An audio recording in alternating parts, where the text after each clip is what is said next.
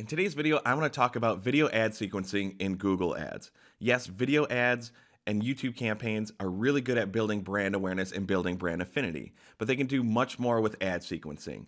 Not only can we work on building our brand, but we can also reinforce messages, tell a complete story to a user, and guide them down a certain path depending on the video creative that we already have in place and linked in our YouTube channel. So in this video, I'm going to show you the campaign options that you have to create ad sequencing, the video formats that you can use, the bid strategies that are available in these campaign objectives, and then some possible troubleshooting down the road. So let's begin. So the first step in setting up ad sequencing is creating your new campaign, right? No, not this time. What we need to do first is making sure that we're going into our tools and settings and then heading into your linked accounts. The reason we need to go to our linked accounts first is that you need to make sure that your YouTube channel is linked to your Google Ads account. If you want to use ad sequencing for your video campaigns, whichever videos you want to use, that channel has to be linked to your Google Ads account. Let's go back to the previous screen now. Okay, so now if you want to run ad sequencing, you have three campaign goals where ad sequencing is available. The first one is product and brand consideration, encouraging people to explore your products or services. The second option is going to be brand awareness and reach, trying to reach a broader audience to build that awareness. Again, another strong value for the video campaigns. Or if you want to customize a goal, you can create a campaign without a goals guidance. And just for the sake of this video, I'm going to create the campaign without any goals guidance. No matter which one you choose, the bid strategies and the targeting options are going to be the same. And of course, these are video campaigns. And then for a campaign subtype, again, no matter which of the three campaign goals you select, ad sequence is going to be our subtype. Then we click continue. Make sure you fill in your campaign name. And now we want to select our bid strategy. So here's a couple things to keep in mind. When you select the ad sequence subtype for your video campaigns, there are only two bid strategies that you can choose from. It's either maximum CPV or target CPM. And when we talk about in-stream advertising and the real value of using a CPV because you could save a lot of cost, you may want to reconsider that decision if you're doing any ad sequencing. And here's the reason why. If you choose maximum CPV as your bid option, skippable in-stream ads are the only type of ad formats that you could show in this type of campaign. If you choose target CPM, you can use skippable in-stream ads. You can also use the non-skippable in-stream ads. You can use bumper ads or a combination of the three. So it gives you more flexibility if you're using target CPMs. Look at your campaign goals, look at the video creative that you want to include inside an ad sequence, and that can help you determine which bid strategy you want to choose. By default, your budget is going to be set at the campaign total level, and if you use a campaign total budget, you are forced to choose an end date. But if you want to have an evergreen campaign, make it a daily budget, and this will allow your ad sequencing to continue, give you more time to look at the data, and possibly edit it to have a better flow for your users. Also, just to confirm your networks for ad sequencing, of course, we can't use YouTube search results, those are only available for discovery ads. So we're automatically defaulted to just YouTube videos. And even better, which can make your in stream ads more specific, we cannot select adding the video partners on the display network. So we know we are sticking our video campaigns only on YouTube. To me, this is perfect. Next, you select your appropriate languages and your locations. Pretty straightforward there. And when we go down to ad targeting, here is where there's another really big difference between ad sequencing campaigns versus any other video campaigns that you could be running. With ad sequencing, you cannot target users with keywords, topics, or specific placements. However, you can use topics, placements, or keywords as exclusions within the campaigns. So of course, this means we can only target our ad sequence based on specific demographics or any audiences that we have created either within Google Analytics or Google Ads and fed back into the Audience Manager. Next, you can select whichever content exclusions are appropriate in addition to the other exclusions that you may have. And then let's talk about frequency capping. By default, frequency capping is set to show one entire sequence per user every 30 days. Frequency capping cannot be edited when you're running an ad sequencing campaign.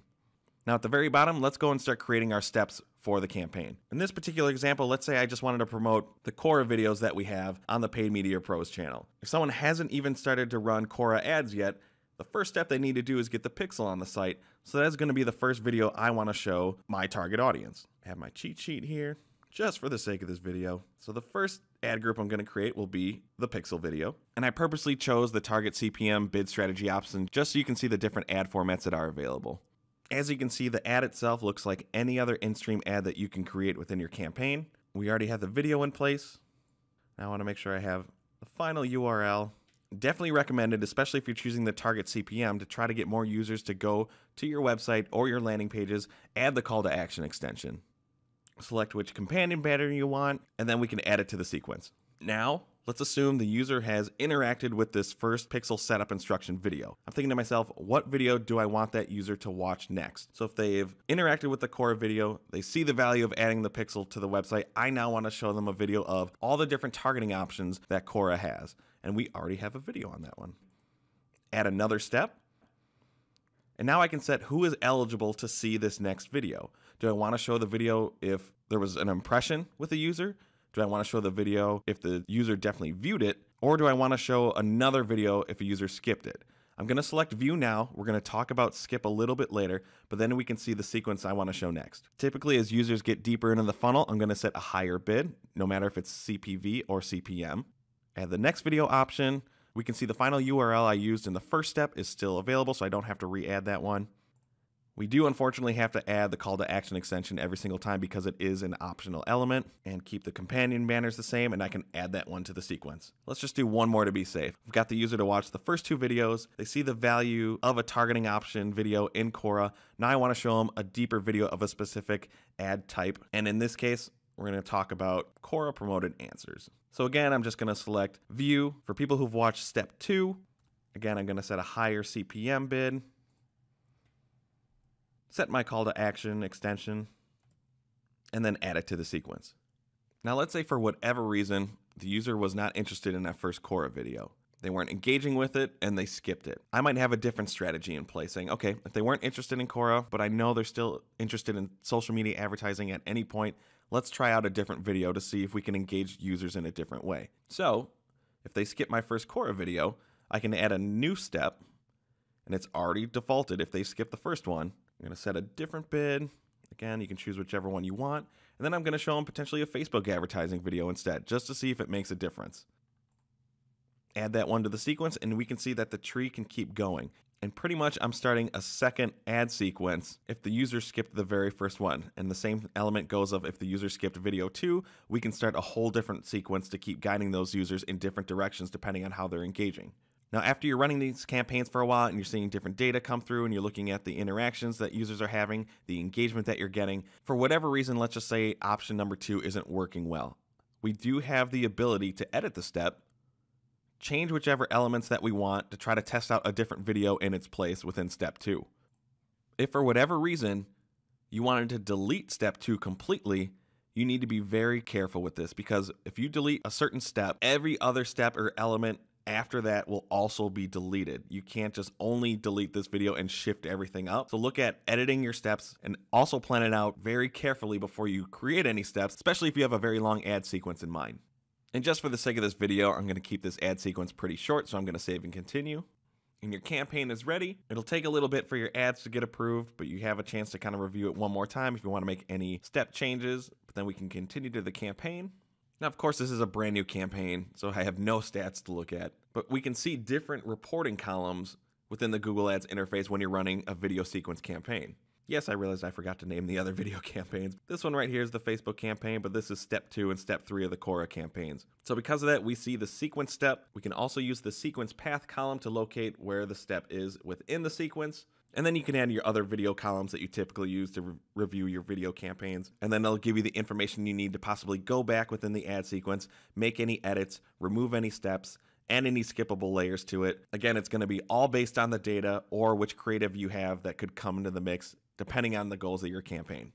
Now, when it comes to troubleshooting, I don't want to run through specific examples. I would rather just show you exactly what Google tells you to do on their ad support page specifically for these ad sequences. If you change a video within an ad sequence, possible errors or issues could come up. Some users will become ineligible to see your sequence, and others may actually repeat previous sequences. So, for going back to what I mentioned before about possibly deleting certain steps or editing those videos, you could mess up with the flow of those users depending on what audience they are in. And then if those users are seeing videos again, or if they're missing steps, the reporting could be impacted and also inaccurate if those users are kind of crossing steps and we're losing the actual place of where some of these users are. Another point that they mentioned in their troubleshooting, which is what we mentioned very early in the beginning, is that you can't create a sequence step until you've linked your YouTube channel. So hopefully that was the first step you've done. You listened to this video. Congratulations. We don't have to ever worry about that one. And then last, bulk editing is not available in both the channel and even in Ads Editor. It may or may not be an issue, but something you definitely want to keep in mind if you're used to doing everything in Editor. And those are the main features for video ad sequencing within Google Ads. Since this subtype was announced, there's already been a few tweaks to the features for ad sequencing, and we can probably expect a few more down the road. But if you have a constant video creative and you believe in video marketing, you believe in telling a branded story and guiding users down the funnel, video ad sequencing is a great feature to test in your video campaign, so give it a shot. Thanks for watching our video. Make sure to subscribe to the Paid Media Pros channel to see more videos.